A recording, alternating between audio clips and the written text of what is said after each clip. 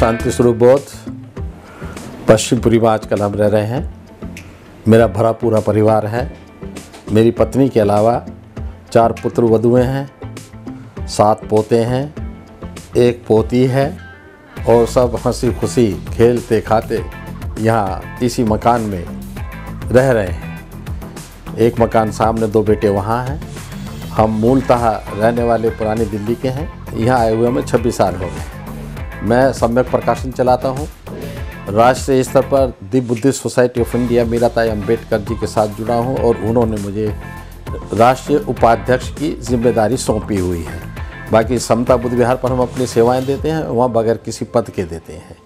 और आज हमारा समता बुद्ध विहार दिल्ली के चर्चित बुद्ध विहारों में है इस चीज़ की हमें बहुत खुशी है। हाँ, हमारी सफलता के पीछे जिस व्यक्ति ने सारी दुनिया को प्रभावित किया, भगवान तथागत सम्यक संबुद्ध, वो मेरे प्रेरणा के पूज्य हैं। सम्राट अशोक, जिन्होंने अपने पराक्रम से, अपने कल्याणकारी कार्यों के बल पर सारी दुनिया में सफलतम सम्राट के रूप में सफलता पाई, वो मेरी आस्था के प्रतीक हैं। बोधिसत्व बाबा साहेब डॉक्टर अंबेडकर जो वर्तमान में सारी दुनिया को प्रभावित कर रहे हैं, वो हमारे आस्था के आधार हैं। ये महापुरुष और जितने भी महापुरुषों को बाबा साहेब डॉक्टर अंबेडकर ने महत्व दिया, पहचान दी, वो सब हमारी आस्था के आधार हैं, जो हमारी सफलता के लिए जिम्मेदार हैं। सुबह प्रातःकाल उठना होता है, चाहे हम रात को लेट भी सोएँ तो सुबह करीब छः बजे के करीब आँख खुल जाती है। तो सवेरी उठ के प्राकृतिक रूप से निवृत्त होकर हम पानी पीते हैं। एक बोतल पानी पीने के बाद फिर मॉर्निंग वॉक के लिए निकल जाते हैं। घर के पीछे ही बहुत सुंदर पार्क है। वहाँ आधा घंटा पैदल चलना, कुछ व्यायाम करना, जो घुटनों के लिए, पेट के लिए बहुत ज़रूरी है। आधा पौन घंटे के बीच में घर आ जाते हैं। घर आते हैं तो तब तक प्रायः अखबार आ जाते हैं, उनका सबका अध्ययन होता है। और पहले से ही कुछ किताबें प्रूफ रीडिंग के लिए एडिटिंग के लिए, पढ़ने के लिए रखी होती हैं। उनमें फिर हम गोता लगाने लगते हैं। उसके बाद में मैडम तब तक वो चाय ले आती हैं। फीकी चाय हम पीते हैं एहतियात के तौर पर। और इसी दौरान फिर टेलीफोनों का सिलसिला शुरू हो जाता है। थोड़ी देर में परिवार जो बेटे हैं सब आकर यहाँ इकट्ठे हो जाते हैं। सब मिल कर के नाश्ता करते हैं। और उसके बाद तब तक नीचे जो हमारा सम्यक प्रकाशन का दफ्तर है, वहाँ पर जो हमारे हाईली प्रोफेशनल जो स्टाफ है, वो आ जाता है और उनके बीच में जा कर के बस फिर तो सारा दिन उन्हीं के बीच में खो जाते हैं। सारे दिन एडिटिंग का काम, प्रूफ रीडिंग का काम, ये करना है, ये नहीं करना है, ये काम प्रायरिटी पर है, इसको तो बाद में भी किया जा सकता है। इस तरीके के सारे काम चलते हैं और मित्रों से जो साहित्यकार हैं या अपने मिशन के और दूसरे आंदोलनकारी हैं, सारे दिन उनका आना जाना और मिलना चला रहता है। तो इस तरीके से सारा दिन कब पूरा होगा, कुछ पता नहीं। छः बजे शाम को ऊपर आते हैं और छः और सात के बीच में खाना खा लिया जाता है। उसके बाद में फिर लिखने पढ़ने का दौर शुरू होता है और जब तक नींद ना आ जाए, तब तक वो लिखने पढ़ने का काम शुरू रहता है। जो ही गर्दन लटकती है तो ही हम अपनी टेबल सरका देते हैं और सो जाते हैं। ये तो दैनिक हमारी दिनचर्या है, इसी तरीके से रोज एक एक दिन करके जीवन में कम होता जाता है। खाली समय तो हमारे लिए ऐसे समझो जैसे कि चील के घोंसले में छीछड़ा तो बड़ा मुश्किल से मिलता है, मगर फिर भी जब कभी भी समय मिलता है, घर में बच्चे हैं, कैरम बोर्ड वगैरह खेल लेते हैं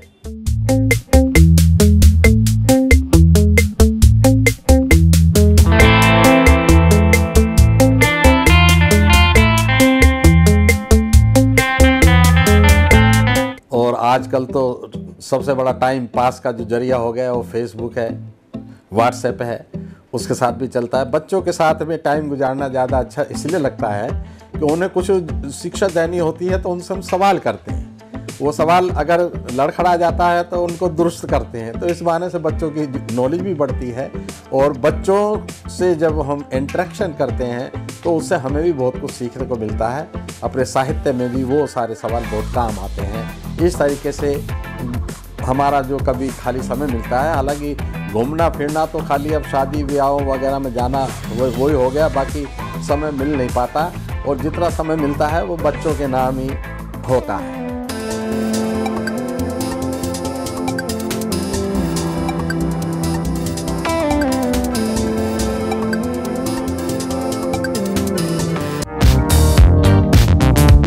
हाँ हॉबीज़ तो बहुत छोटे उम्र से बहुत सारी मेरे साथ लगी रही और हॉबी भी बहुत महँगी।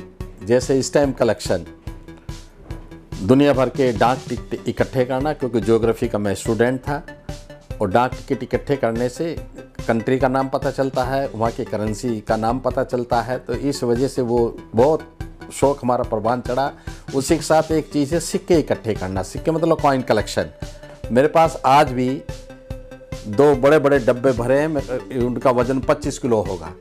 दुनिया भर के जहाँ भी हम गए, वहाँ से लेकर आए, जो भी मित्र मेरा यहाँ आता है, उनको सबको पता था कि मैं बोध जी से मिलने जा रहा हूँ तो वो जाते पूछेंगे, अपनी कंट्री का सिक्का लाए क्या? तो इस तरीके से बहुत सिक्के हमने इकट्ठे किए।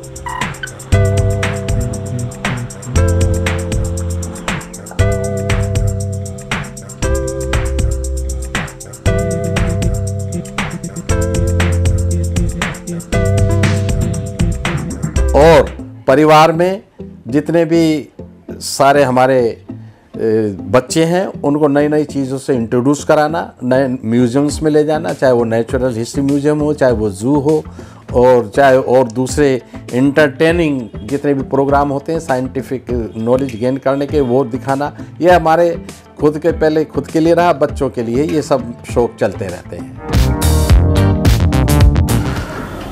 सम्यक प्रकाशन विधिवत रूप से आरंभ हुआ 1997 से। मगर इसके शुरुआती जो काम थे, वो 1975 से आरंभ हो गए थे। क्योंकि मेरा बचपन बड़े बड़े जो समाज सुधारक हैं और साहित्यकार हैं, उनके साथ बैठने में बीता, उनके चरणों में बैठकर बहुत कुछ सीखा। उसने प्रेरित किया कि समाज को संगठित करने के लिए, समाज को शिक्षित करने के लिए, समाज को अपने गौरवशाली इतिहास से परिचित कराने के लिए साहित्य की ज़रूरत और सांस्कृतिक पक्ष को प्रबल करने की ज़रूरत है। ये तो 75 से अब सबसे पहले जो हमारा प्रयास था, वो तीन बच्चों वाला एक कैलेंडर निकला था, शिक्षित बनो, संगठित रहो, संघर्ष करो।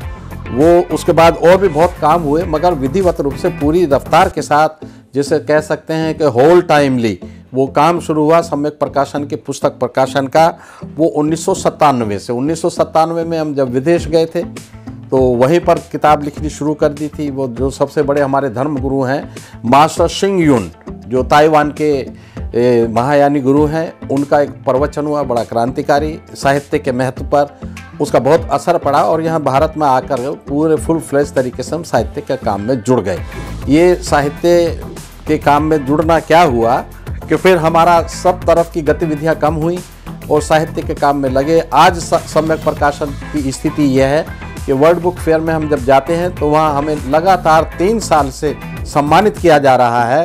सत्रह, दो दो हज़ार सत्रह में हमें कांस्य पदक से सम्मानित किया गया। 2018 में हमको रजत पदक, यानी कि सिल्वर मेडल मिला। और ये जो 2019 है, अभी लास्ट वीक जो ख़त्म हुआ है, उसमें भी हमें दोबारा रजत पदक मिला। वो जो होता है, साहित्य के लिए तो होता है परफॉर्मेंस के लिए भी होता है। जो आपका डिस्प्ले की स्टैंडर्ड क्या है, उसके लिए होता है और उसकी ट्रेनिंग हमें बचपन से है और अब तो हमारे बच्चे भी सारे ट्रेंड हो गए हैं। तो सम्यक प्रकाशन की ये छोटा सा एक परिचय है। और इसी को, इसी परंपरा को आगे बढ़ाने के लिए अब हमारे बच्चे भी मैदान में आ गए वर्तमान भारत में एक ही पॉलिटिशियन हैं जो हमारी कसौटी पर खड़े उतरते हैं। उनका नाम है बहन मायावती। कारण ये है कि इस पूरे बहुजन आंदोलन को जितने भी आदिवासी हैं शेड्यूल कास्ट हैं बैकवर्ड हैं इन सबको प्रभावित करने का या एक जगह लाने का मादा अगर किसी में है तो उन्हीं में है। पिछले दिनों एक, एक एक्सपेरिमेंट उत्तर प्रदेश में हुआ था। वो ठीक है कि रिज़ल्ट इसलिए हाथ में नहीं आ पाए क्योंकि षड्यंत्र हमारे प्रयासों से ज़्यादा था मगर आज उनकी बात में जो दम है उनकी रैलियों में जो भीड़ जुटती है ये अन्यत्र दुर्लभ चीज़ें हैं तो आज हम कह सकते हैं कि हम तो बहुत पुराने समय से उनको देखते आ रहे हैं, उनके साथ काम भी किया है, राजनीति में आने से पहले भी। तो आज की तारीख में इंटरनेशनली रिनाउंड अगर कोई भारतवर्ष में बहुजन लीडर है तो वो बहन मायावती हैं। और हमारी आस्था का आधार और हमारी, हमें भी हमें भी प्रेरित करने वाली अगर कोई है तो बहन मायावती हैं, जिन्होंने उत्तर प्रदेश में चार चार बार सत्ता संभालने के बाद ये रुतबा हासिल किया है। यह हर एक को नसीब नहीं है। ख़ास तौर से बहुजन समाज में तो आपको ऐसे बहुत विरले ही मिलेंगे। राजनीति में नहीं जाना चाहते, क्योंकि राजनीति से ही हम आए हैं। पिताजी रिपब्लिकन पार्टी के जब अध्यक्ष थे, दिल्ली का सबसे बड़ा रिपब्लिकन आंदोलन जो हुआ था, जेल भरो आंदोलन 1964 में। तो उस समय पिताजी अध्यक्ष थे और वो तो उन्नीस में हट गए थे। मगर उसके बाद 1970 में मुझे दिल्ली प्रदेश का जनरल सेक्रेटरी रिपब्लिकन पार्टी का बनाया गया। तो वो जो अनुभव हमारे उस समय थे, जो कुछ हम करना चाहते थे, वो वहाँ रहकर नहीं हो सकते थे। तो राजनीति में जाने का हमारा कोई दूर दूर तक कोई इरादा नहीं है। काम करेंगे, समाज के बीच में रह कर करेंगे और बौद्धिक, साहित्यिक, सांस्कृतिक काम करेंगे और विरोध हमारा किसी से नहीं है। हर एक का अपना काम करने का तरीका है। मेरा काम करने का तरीका ये है, जो दूसरे तरीके से काम करते हैं, उनसे भी हमारा कोई दुराव नहीं है, कोई मतभेद नहीं है, कोई जिस रूप में करता करे, मगर हमारा काम सांस्कृतिक, साहित्यिक और बौद्धिक रहेगा और है। भविष्य तो बहुत सीमित है। आपको भी दिखता है, मेरे तो बचपन में डेथ हो गई थी और दोबारा जान आ गई तो तब से हम इंतज़ार में अब अब जीवन लीला समाप्त, अब जीवन लीला समाप्त। मगर एक सपना जीवन का ये ज़रूर है कि अपने आँख मुंदने से पहले इस देश के युवक को युवा शक्ति को झकझोड़ना है। उन्हें उनके अतीत का, उनके गौरवशाली अतीत का एहसास दिलाना है और घर घर में इतना साहित्य पहुँचा देना है कि हमारे जैसे लोगों के ना रहते हुए भी साहित्य उनका झकझोड़ता रहे। बस एक यही तमन्ना बाकी है। आज भारतवर्ष के युवकों में जो एक पैठ बनी है, उससे हमें आस बंदी है कि युवकों के माध्यम से ही हम समाज में परिवर्तन ला सकते हैं। बूढ़े व्यक्ति को परिवर्तित करना बड़ा मुश्किल होता है। वो तो औरों को ही बदलने की बात करने लगते हैं। मगर युवा शक्ति अपने मादे के साथ, दम के साथ, अपने बुज़ुर्गों को माँ बाप को भी साथ लेकर जब चलेगी तो समझो बात बन गई। तो वो हमारा एक सपना है और मुझे लगता है कि वो ज़्यादा दूर नहीं है, पूरा होने को है। मैं तो खाली इतना ही कह सकता हूँ कि भरपूर सम्मान मिलता है और हम भी उनको पूरा प्यार करते हैं। मगर अधिक वो मेरे बारे में क्या सोचते हैं, वो तो आप उनसे जानेंगे तो ही ईमानदाराना प्रयास होगा, वो ही बेहतर बता पाएँगे। मैं संदीप शांत, शांति स्वरूप बौद्ध जी का बड़ा बेटा और ये मेरी मिसिस किरण शांत और ये मेरी बड़ी बेटी शालिनी शांत जो टेंथ स्टैंडर्ड में है। और ये मेरा छोटा बेटा सम्यक शांत ये नाइन्थ स्टैंडर्ड में है। और मैं अपने पिताजी के बारे में बताना चाहता हूँ, जो सबसे पहली बात तो जो आज उनका मुकाम समाज में है, ये हर किसी को प्राप्त नहीं होता है। इससे हमें गर्व महसूस होता है। और पिताजी से मैंने हमेशा सीखा है कि जो सबसे अच्छी बात लगी, उनकी भी बचपन से कहते थे कि, यारी दोस्ती सभी से करो, पर उनके अंदर जो अच्छे गुण हैं, वो हमेशा लेना। बुरे गुण कभी मत लेना। तो वही इस चीज़ को हम फॉलो करते हैं। समाज में उठते बैठते हैं, किसके अंदर क्या अच्छा है, क्या अच्छा नहीं है, वो सब देखते हैं, जो अच्छा है वो हम लेते हैं, उसको फॉलो भी करते हैं और अच्छी चीज़ को हर किसी को फॉलो करना चाहिए। बुरी चीज़ को कभी फॉलो करना नहीं चाहिए। मैं एक हिंदू फैमिली से बिलोंग करती थी, शादी से पहले। और मतलब और फिर मैं शादी के बाद बुद्धिस्ट फैमिली में इंट्रोड्यूस हुई। और मुझे यहाँ के इतना अच्छा लगा, यहाँ बुद्धिज़्म के बारे में जान के और बहुजन समाज का जो वो है, इतिहास, ये सब जान के कि हमारे साथ, हमारी लेडीज़ के साथ, हम लेडीज़ के साथ कितना बुरा हुआ है, कितना शोषण हुआ है। और मेरे को इतना थैंकफुल और ग्रेटफुल फील होता है कि मैं इस इस परिवार में आई और मैं उस हिंदू धर्म के जो बच्चों से उन रीति रिवाजों से मेरा पीछा छुट सका और मैं कपिल बौद्ध बौद्धाचार्य शांति स्वरूप जी का, बीच का बेटा संदीप जी से छोटा। ये मेरी वाइफ दीपशिखा ये मेरा बेटा मिलिंद एंड ये अर्पण, ना, और हमको शुरू से सिखाते हैं। और सबसे बड़ी बात, हमें सिखाते हैं, हमेशा पॉजिटिव रहो। है ना? पॉजिटिव रहना ही सिखाते हैं कि लोगों को हमेशा जोड़ना ही सिखाया है। अगर कोई कुछ कह रहा है, या हमारी कोई बुराई कर रहा है, या कोई हमारा विरोधी कुछ कह रहा है तो कहते हैं, इसको ध्यान ही मत दो आप। जो जिसके साथ है दुनिया, सारा बुद्धिजीवी वर्ग है, सब देखता है। मैं आ, मैं बहुत प्राउड फील करती हूँ। जब मेरी शादी हुई इस घर के अंदर पापा जी को हम पहले से ही जानते थे क्योंकि वो मेरे ग्रैंडफादर के बेस्ट फ्रेंड थे। जब मेरे दादाजी इस घर में रिश्ता लेके आए उन्होंने एकदम ही एक्सेप्ट कर लिया और हम मेरी शादी इसी घर में हुई। मैं बेसिकली बुद्धिस्ट फैमिली से ही बिलोंग करती हूँ और यहाँ भी आई तो बुद्धिस्ट फैमिली ही देखी लेकिन मेरे फैमिली से ज़्यादा इस फैमिली में मेरे को देखने को मिला सब कुछ। पापा जी का जिस तरीके से पूरी आ, आ, पूरी इंडिया में नाम है वो बहुत ही अच्छा लगता है और प्राउड होता है हमें इस बात के ऊपर कि उन्होंने इतना अच्छे अच्छे काम किए जब वो भाषण देते हैं, सब लोग उनके भाषण के लिए बैठे ही रहते हैं, जब तक उनका भाषण नहीं होता और काफ़ी मोटिवेशन मिलती है उनके भाषण से। वो जिस तरह से रीड करते हैं राइटिंग करते हैं, उन्होंने इतनी सारी बुक्स लिखी है तो बहुत ही अच्छा है। हाँ ईमानदारी से देखा जाए तो जो सबसे बड़ी सपोर्ट वो पत्नी की ओर से मिलती है, वो सबसे बड़ी सपोर्ट होती है। मुझे भरपूर सपोर्ट उनकी तरफ़ से मिली है। जब से मेरी शादी हुई है, शादी होकर आई हूँ मैं इस घर में तो मैं बहुत खुश हूँ। बहुत अच्छे तरीके से रखते हैं मेरे को सभी घर वाले यहाँ पर। और अपने हस्बैंड के साथ मैं जाती आती हूँ तो मुझे बहुत अच्छा लगता है। इनके अंदर तो बहुत खासियत है, जो सभी को जोड़कर चलते हैं समाज। मैं घर में रहूँ तो ना रहूँ तो अब कौन आदमी है रात को सोते वक्त लाइट जलाना पसंद करेगा? मगर मैं अपना काम पूरी लाइट जला के करता रहता हूँ और वो अपना नींद लेती रहती हैं या नींद का वो ड्रामा करती रहती हैं। मगर ये बहुत बड़ी सपोर्ट है। किसी भी व्यक्ति की पत्नी अगर चाहे, घर में पत्ता हिल नहीं सकता। मगर अगर हमारे जैसे लोग जितना भी कुछ कर पाते हैं, वो सीधी सी बात यह है परिवार से, ख़ास तौर से पत्नी से उनको सपोर्ट मिलता है, तभी वो कर पाती हैं। वो मेरे साथ जाती भी हैं, प्राय मैं उनको अपने साथ रखता हूँ, साथ रखता हूँ अपने। और एक तो मेरे बारे में बड़ा पहले मशहूर था कि जब मैं दाढ़ी रखता था तो मेरी दाढ़ी, मेरी गाड़ी और मेरी साड़ी, यानी कि पत्नी, हम साथ साथ होते थे। तो एक ज़माना ऐसा भी था तो पत्नी का सपोर्ट बहुत रहा और उनके सपोर्ट के बगैर यहाँ तक आ पाना बड़ा मुश्किल था। शिक्षा ही बदलाव ला सकती है। ही इसलिए कह रहा हूँ कि कोई दूसरा हमारे लिए कोई दूसरा ऑप्शन है नहीं। जो सरकार हमें शिक्षा दे रही है, वो हमारे काम की नहीं है। जो षड्यंत्र के तहत जो हमारी शिक्षा तो ख़त्म कर दी गई, उन्होंने अपने बच्चों के लिए प्राइवेट स्कूल्स खोल लिए। अब हमारे बच्चों को हम अपनी शिक्षा नहीं दे पा रहे, खुद नहीं दे पा रहे, क्योंकि साधनहीन समाज है।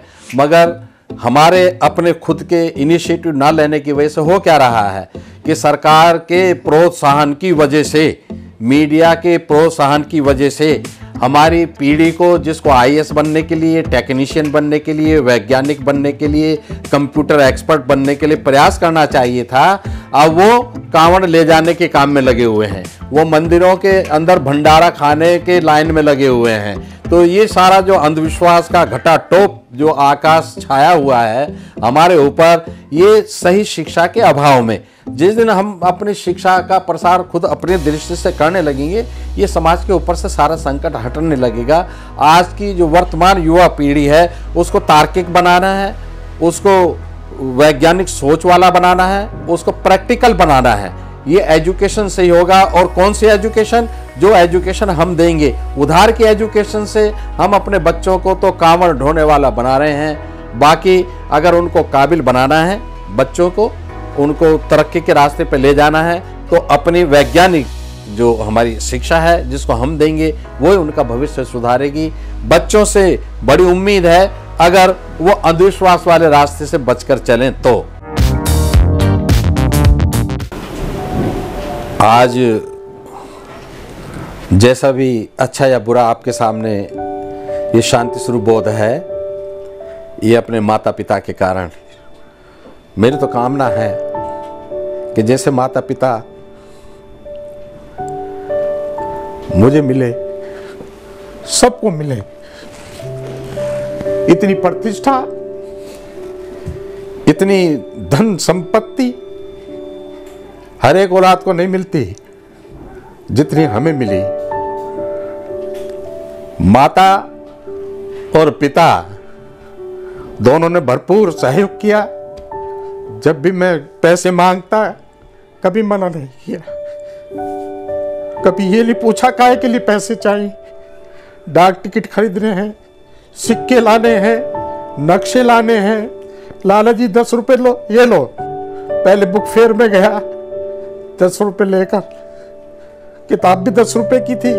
उससे पहले मैंने दो रुपए की किताब खरीद ली थी। वापस आना पड़ा। फिर कहा, लाला जी, दस रुपए दो। ये ले। वो तंगी का समय, जब लोगों के पास दो रुपए नहीं होते थे, पिताजी मांगते, दस रुपए देते थे। ऐसे बाप सबको मिले। आज वो नहीं है, मगर मुझे एक चीज़ का संतोष ज़रूर है कि मेरे पिताजी के प्राण मेरी गोद में निकले। मेरी माँ की जान मेरी गोद में निकली। आज की जो औलाद माँ बापों को पहचानने से मना करती हैं, उनको, उनका प्राकृतिक जो दायित्व बनता है, उसको निभाने से मना करती हैं। ऐसा क्षण किसी दुश्मन के घर में भी ना आए, मगर मुझे माता पिता का पूरा, जबकि हम तीन भाई थे, एक बहन थी।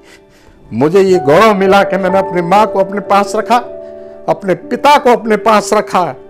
ये तो हमारा अपना रिश्ता पारिवारिक, मगर एक माँ बाप हमारे और हैं, जो सामाजिक हैं। वो बाप कौन है? बाबा साहेब डॉक्टर अंबेडकर और माँ कौन है? माँ है रमाबाई अंबेडकर आज मैं सुबह बैठा बैठा एक चित्र फाइनल कर रहा था। कल्पना लोक में था। रमाबाई अंबेडकर के पति हमारे बाबा साहब अमेरिका गए हुए थे। और वो बीमार पड़ी थी, बच्चा भी बीमार था। उन्हें सपना आया माता जी को कि मेरे मालिक तो विदेश में है और तू बीमार है।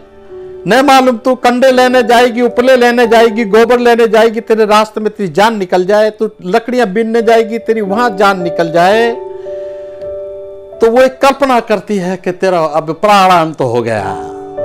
अपने मालिक की इंतज़ार करते करते तेरी जान निकल गई। तो उसके मुँह से एक ही शब्द निकला रमाबाई कह रही हैं कि कागा कागा कहते हैं कौवे को, कि कागा चुन चुन खाई हो, चुन चुन खाई हो मांस तो नैना मत खाई हो मोह पिया मिलन की आस। तो ये चित्र सुबह जो फाइनल हुआ अपने सामाजिक माता पिता की याद में बहुत जल्दी हम अब इसको, क्योंकि अब ये दिमाग में फाइनल हो गया, अब ये कागज़ पर आना बाकी है। माँ बाप का संसार में भगवान बुद्ध ने कहा है माँ बाप का कर्ज उतर नहीं सकता। आप अपने प्राणों की बाजी लगा दे तो नहीं उतर सकता। मगर माँ बाप अगर गलत रास्ते पर हो तो संतान का यह दायित्व बनता है, वो उसको सही रास्ते पर लाकर उनके प्रति अपना सच्चा नियम निभावें, सच्चा दायित्व निभावें। यद्यपि हमें ऐसा मौका मिला नहीं, माता और पिता जैसे हमें मिले मेरी कामना है हर एक को ऐसे सहयोगी माता पिता मिले, ऐसे मार्गदर्शक माता पिता मिले, ऐसे सम्मानित, ऐसे संपन्न माता पिता मिले, जैसे हमें मिले। आज इस अवसर पर मैं समझता हूँ ये शब्द बहुत हैं। एस एम न्यूज़ के बारे में बताने को तो बहुत है और समय कम है। कारण ये है कि आज हमारे समाज में यूट्यूब चैनल्स बहुत हैं, मगर हर एक चैनल की अपनी अपनी अलग अलग पहचान है, मगर जो पहचान एस एम न्यूज़ ने बनाई है, वो काबिल तारीफ़ है। कारण ये है कि मैं कुछ समझदार लोगों के साथ उठता बैठता हूँ, और मैंने ह्यूमन बिहेवियर का भी काफ़ी अच्छी स्टडी की हुई है। इसलिए मैं कह सकता हूँ कि जो आपके प्रश्न होते हैं, जो सुरेंद्र जी के सवाल होते हैं, जो बात करने का तरीका होता है जिन शब्दों का ये प्रयोग करते हैं, जिन मुद्दों को ये बड़ी तत्परता से उठाते हैं और संभालते हैं, वो बानगी तो देखते ही बनती है। ये चीज़ें विरले दुर्लभ हैं। आज भारतवर्ष में एस एम न्यूज़ जैसे न्यूज़ चैनल्स की ज़रूरत है। जब जब तक जिम्मेदार पत्रकारिता का उदय होगा, तब तक समाज का सार्थक दिशा में निर्माण होगा। आज समाज को जगाने की ज़रूरत है। जो एस एम न्यूज़ चैनल बहुत अच्छे तरीके से पॉजिटिविटी के साथ उसको जगा रहा है। नेगेटिविटी से समाज का नाश होता है। नेगेटिविटी से समाज की जड़ कमज़ोर होती है। नेगेटिविटी से समाज का भविष्य ओझल होता है। और अगर समाज का निर्माण होता है तो पॉजिटिविटी से होता है। और एस एम न्यूज़ चैनल की सबसे बड़ी ताकत, सबसे बड़ी दौलत, सबसे बड़ी पहचान उसकी पॉजिटिविटी है। और मेरी ये कामना है कि भाई सुरेंद्र जी, इस पॉजिटिविटी को इसी तरीके से बरकरार रखना, बल्कि इसको बढ़ाना तो इससे आगे आने वाले समय में अनुकूल माहौल बनेगा। दूसरे चैनल्स भी इस पॉजिटिविटी के रास्ते पर चलेंगे और समाज के कल्याण के मार्ग पर सहयोगी बनकर उभरेंगे।